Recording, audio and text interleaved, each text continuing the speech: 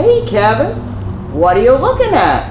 Well, this is the old uh, cap off of my AHP AlphaCUT 60 over here, and that's a plasma cutter. And this just screws on the end of the gun right here, holds everything together. This is the business end. And after a while, they wear out. You know, the, the nozzles wear out, the tips wear out. These poor caps are right down in there in the flame, you know, in the spatter and what have you, and they get all burned up and crispy. So I've got a new one, and I've got a better one. So one of the problems that you run into with plasma cutters is when you're uh, when you're running these things, that tip is hot electrically. So if you get right down on your metal and you just happen to accidentally touch that tip to the metal as you're trying to make a cut, basically you short out the machine. Once, no problem. You know, three, four times, yeah, no problem. If you have a habit of doing that, you're going to blow up something in the machine. So while this you know, open design, if you will, where there's no guide on here. This is great if you're freehanding, you know, you want to be able to see what you're doing, you're working in tight little quarters or something like that. That's great. But if you shake a little, you know, if you're just going to make a long cut or something, they have a drag guide. And this just goes on in place of your regular cap, screws right into place, and now you've got this little guide. So that'll just allow you to keep your distance off your metal. It prevents you from you know, grounding out the tip, shorting the, the gun out to the metal, and you can see what you're doing, but you just drag that, that little guide along the metal with you, and that helps a whole bunch. But now just to make things a little different, you know, a little better, in my opinion, we can get rid of this cup, and now they have this guy, and he just goes on in the same place, and what you see on the end here is this is a drag cup. So this brass part is actually insulated from the tip. So this is cold electrically. It's got the little reliefs cut in it so the sparks and what have you can come out of there if they want to.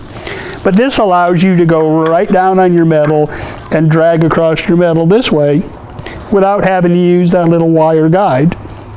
That helps to put more of the light under the metal rather than above. Helps keep more of the sparks under the metal rather than above.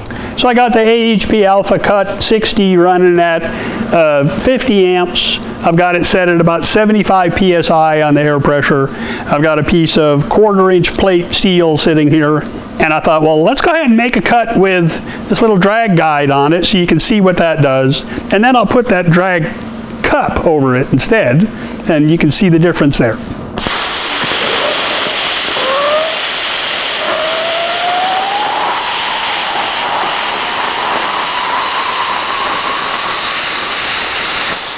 And now let's try it with the drag cup on there instead.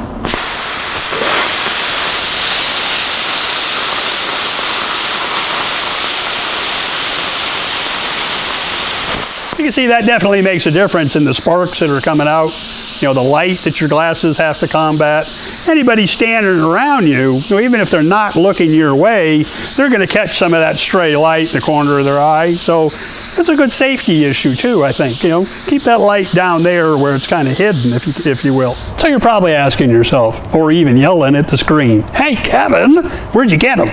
George's Plasma Cutter Shop www.georgesplasmacuttershop.com. Okay, go talk to George, get online, give him a call. Either way, he has these uh, these tips and these cups and what have you for the IPT 60s.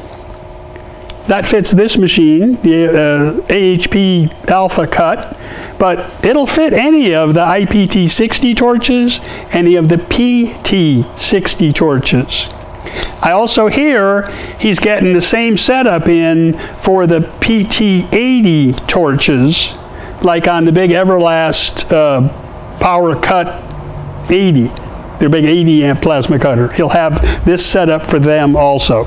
So give George a call if you want to order some. Tell him I sent you. He might even give you a little extra something. I'm going to go ahead and clean this mess up, and I'm going to get myself back to work. You guys are going to reach right down there and click that subscribe button for me. And I'll see you next week.